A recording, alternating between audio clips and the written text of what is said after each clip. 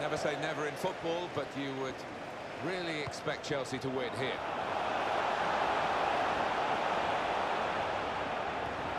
In with a chance. And the goal by the underside of the bar.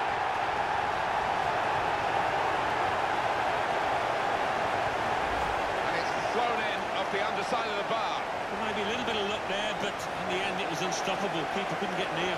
Whether it was a goal or not, we've now got extra proof. Better than the human eye. I might be wrong, but I didn't think this one was over the line. Well, that's what I love about this technology. It's so close, but it is an inch or two over.